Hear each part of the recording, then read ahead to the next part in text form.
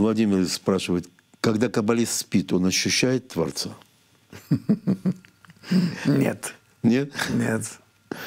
Нет, это не так, как в нашем мире, что есть вещи сны и всевозможные э, такие ощущения в снах, ощущение полета, ты куда-то залетаешь, улетаешь, ничего подобного. Каббалист ощущает все, все духовное абсолютно реально э, в себе, э, в несонном состоянии. Наоборот, тогда происходит такое ощущение, что все время звенит от ясности –